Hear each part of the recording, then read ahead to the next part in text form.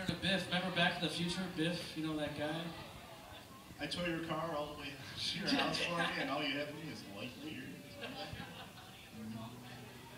He did He did win a shitload of money off sports betting. That's- That's Sport Almanac came in it. You cheated. Go. One, two, three. I